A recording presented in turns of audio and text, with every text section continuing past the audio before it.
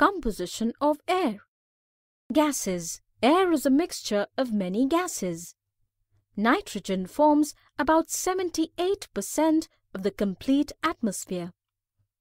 Nitrogen is not used by the living organisms directly from the air. Plants get nitrogen with the help of soil bacteria.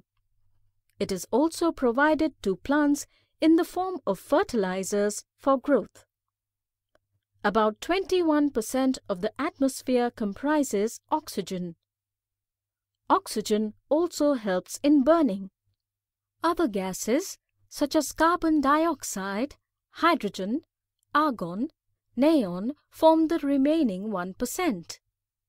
Neon gas is used in colorful glow signs. Argon is used in electric bulbs. Helium gas is filled in balloons. Humidity.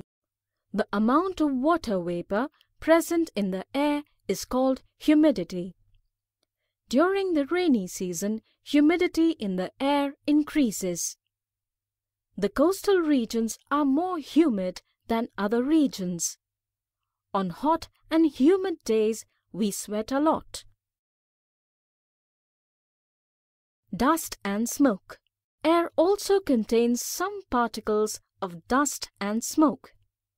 The more the dust and smoke, the more polluted the air becomes. Uses of air pressure in daily life. You use air pressure to drink using a straw. When you suck at the straw, the air in the straw is removed and there is low pressure created in it. The pressure of air on the liquid in the bottle forces the liquid to rise in the straw and reach near the mouth.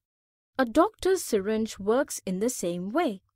When the plunger of the syringe is pushed in, the air from the syringe is removed creating a low pressure.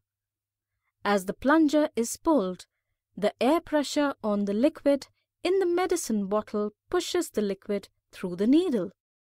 A dropper used to fill ink and medicines also works in the same way.